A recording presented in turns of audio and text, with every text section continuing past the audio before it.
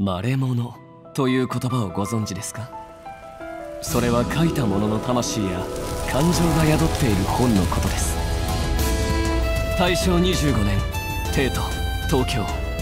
マレモノをめぐる事件をきっかけに自らカゴの外へと飛び立った鳥は空へと羽ばたく。たとえ深い悲しみの空だったとしてもその先に見える光に向かってあなたを迎えに来ました。俺たちの運命が今揺らぎ始める。ニルアドミラリの天秤。